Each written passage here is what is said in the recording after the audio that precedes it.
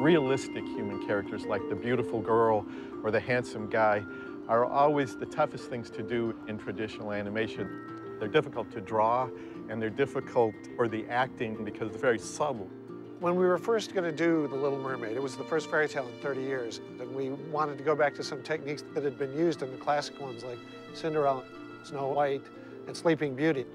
And one of those was the shooting of live action reference as an assist for the animators to help unify both difficult drawing problems and to get a lot of different animators working on the same page in terms of a character. This was a technique that uh, Walt had done as far back as Snow White. But it hadn't really been done in the latter years by the time when I had started at the studio. We didn't really know or have the tools at our immediate disposal. We weren't sure quite how to do it again.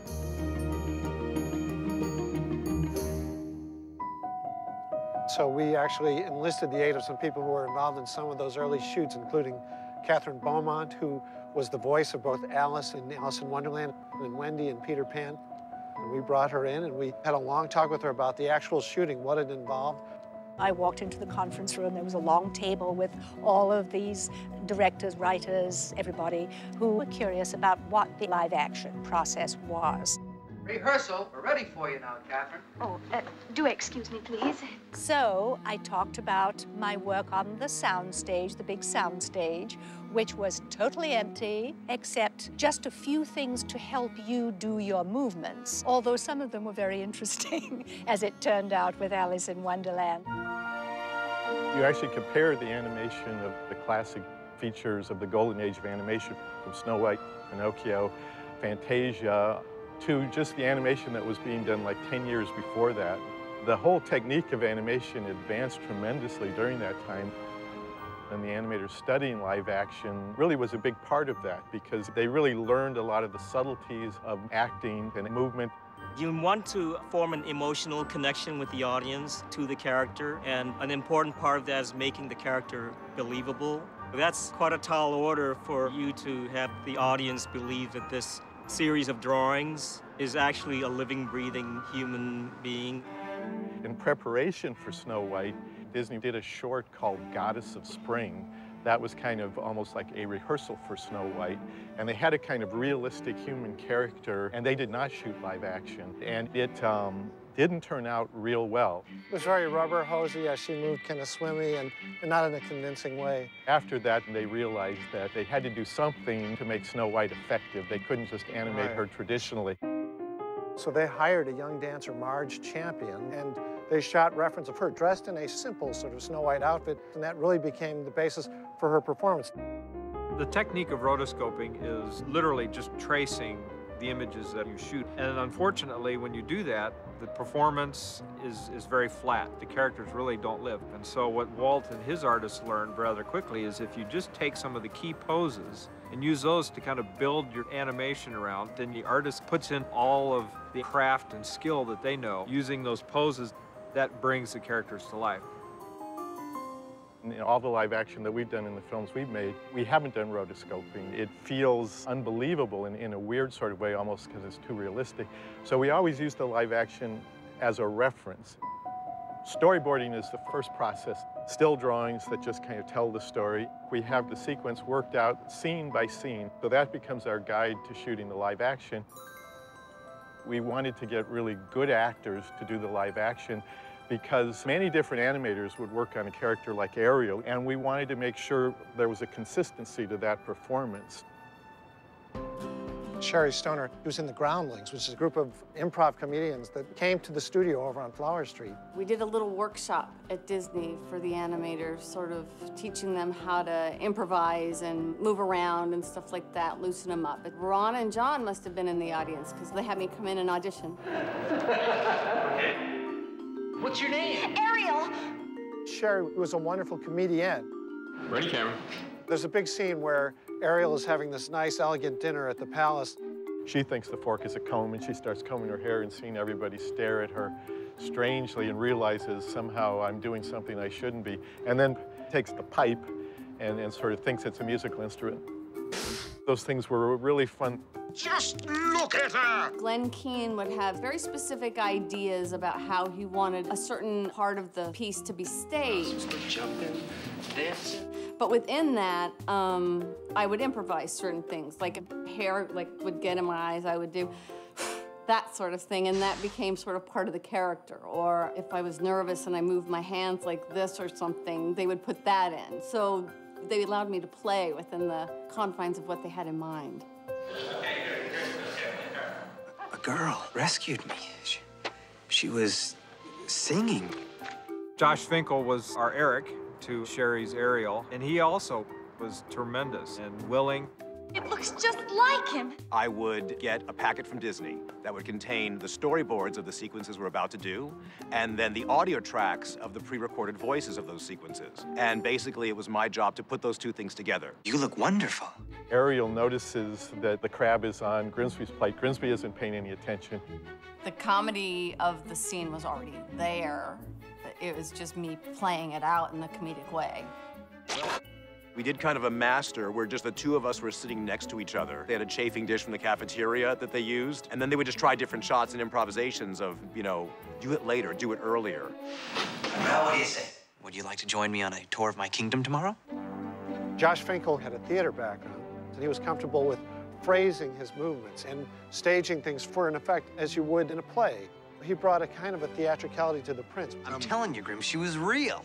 I'm gonna find that girl, and I'm gonna marry her. The original live action reference process they shot on film, and they were fairly elaborate. There was a lot of attention to detail in terms of if the character was walking down steps, they had steps built. They wanted to make sure that these live action scenes were staged as closely to the way it was going to be laid out in animation. And we just didn't have the budget or the time to do it exactly that way. So, uh, what are we doing? Oh, Little Mermaid. So we used video. Ready, camera. I lost her once. I'm not gonna lose her again. Cut, cut. Our big sets were, were apple carts and risers. And then at the backdrop, there was a grid that's lined off with tape. That gave you a vertical and horizontal measure so that if you want to walk, you have a point of reference for animators to look at. We had our puppets and our props and things. masks. Come on, wait, you can do it next. The props were just, I think, whatever they sort of could pull together that was sort of lying around. Like, they got a puppet that was about roughly the size of Flounder to Ariel. You want thingamabobs? I got 20. Whatever worked. you know. So the shooting sessions were a lot of fun. There's some pretty silly stuff we used to do. Right. Got it. When we storyboard a film, it blocks out the broadest actions, but every detail isn't there, certainly, and the animators bring a lot of that to it. We would discuss it with Sherri, and we'd kind of walk through it, see how it looked for camera. And we had ideas, and she had ideas. And certainly, Glenn Keane was really inspired by Sherri. We wanted her to come up with things that we wouldn't think of, or even that the animators wouldn't think of. When she was on The Rock, she's lost her voice, and she comes and meets the prince. I think we gave Sherri the direction. You know, you can't talk, you're trying to communicate all these things that happen to you, so you can kind of do it like charades. They left it pretty much up to me to try and communicate like this and all that, you know, you know. But then she sort of falls and stuff into his arms, and that was at a specific point. They had that all laid out, but the, you know, that sort of thing was left to me. Part of what live action can be used for is difficult to draw angles, complex bits of choreography, uh, as well as ideas of performance and movement. You would think a walk is the most common thing, but the walk is actually one of the most difficult things to animate convincingly. Live action can really give you a leg up, so to speak. When there's a good silhouette, it gives the animator a much uh, clearer thing in terms of making a nice drawing out of that. There's a term in animation called overlap. When something moves, something drags behind it, and then it sort of catches up. So if you have a cape and you twirl, the cape kind of keeps moving after you stop. Live action is very valuable for that. Anything that moves and has overlap, we would want to get very clearly into live action. With Little Mermaid, we had meetings and meetings about Ariel's hair. At WDI, they have this tank that's got portals on it so that you can study the effects of certain things underwater. We wanted to see how, how hair moved. It was all good, except that the water was not heated. So it was Arctic. So I couldn't stay down there very long. I might do, but I was I was having such a blast. They were like, "Are you okay? You're sure you're okay?" And I was like, "Yeah, yeah, okay. Just tell me." And they would be like, "Okay, swim to the right, then swim to the left, then go down and then up, you know, and then come back up and see if you're okay." One of the other things that's complex to do in animation is when there's real interaction between two human characters. Ready, camera. We did it very simply, as I recall, but it helped because you could see in these pivoting shots where the camera was moving around how to draw them, sort of situate them in the boat, and that, that sort of physical thing, as well as the performance things. Felt great. Part of Your World was a really important moment, a beautiful song that, that Howard and Alan had, had written. When the time came to shoot the live action, that was one of kind So, of the key, yeah. key scenes. When we shoot this live action, she's actually acting to playback of Jodi Benson's track. Look at this stuff. Isn't it neat? It was Glenn's idea, getting this pan around the grotto, which is very tricky to do in a two-dimensional art form. So we came up with this idea where we put Sherri on a chair and pivoting the chair down out of camera, we timed the turn on, on the chair so that when we combined it with a two-dimensional pan of the background, it really gave this kind of magical feeling of being in the round and being able to see that whole grotto. And later we had the, the sort of key shot where she reaches up out of the grotto at the end. And that was a complex shot from a technical point of view. It was helpful then to shoot that with Sherri and to get the force perspective as her hand came up into camera to really see how that hand would work and recede. Some people, when watching Mermaid at the time, felt like it was a little more cinematic possibly than some of the films that came before it. And if that's true, I think part of that could be because of shooting the live action, it really did have a, an influence on the staging and the cinematography. Wandering free. Wish I could be part of that That was a good take. Yeah. When I came to the studio in the mid 70s, Eric Larson was in charge of the animation training program. He had animated the character Cinderella, among many great things he animated, along with Marc Davis. And I complimented him on his animation on that. And he was very quick to credit Helene Stanley, who had shot the live action, because he felt like he had really gotten so much inspiration from her work. Walt's philosophy was it's a team effort. And I was very much aware as I began working for Disney that that's how everything was. And they sort of made me part of this team. And I saw Alice coming alive. And I almost looked at her as being this different character. But I was told that when they saw Alice animated, they could see me because my personality came through.